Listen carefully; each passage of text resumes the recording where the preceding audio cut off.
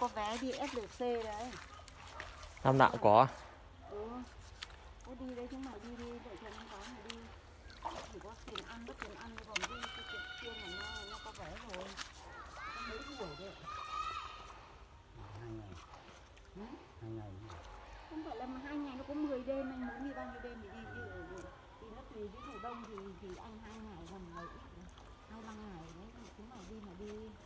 Đi vào thanh hóa mà chơi hóa nó nó có những cái bể tắm bể tắm thích của nó.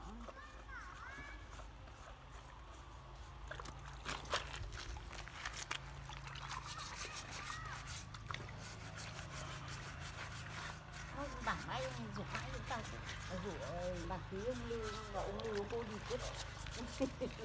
Thời gian đâu mà đi lâu thế không đi tức là đi trước hôm sau về thôi thì ờ, không bắt buộc cái gì đâu tức là mình muốn đi bao nhiêu nhiều cứ trừ vào đấy thì chịu Nhưng mà đây nó đang phải đi thụy sĩ đây nhưng mà bây giờ ừ, ừ, đánh nhau kia thì đi nào. Chứ ảnh hưởng gì. Mang đường bay thì đi là tắt hết rồi. Sáng ngày tôi đọc báo cái nước ở trong NATO mới lại minh của Mỹ cắt của nga. Tắt hết của Nga đây. Nó đẩy đường bay khác. Nó ảnh hưởng nó tức là nó sẽ ảnh hưởng đến à, nhiều đấy nó liên quan đến nhiều.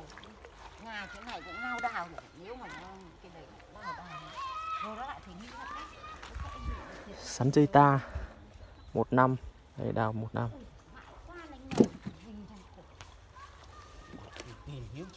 Không không không nghe cái thằng ấy nó bảo là nó đang sắn này rồi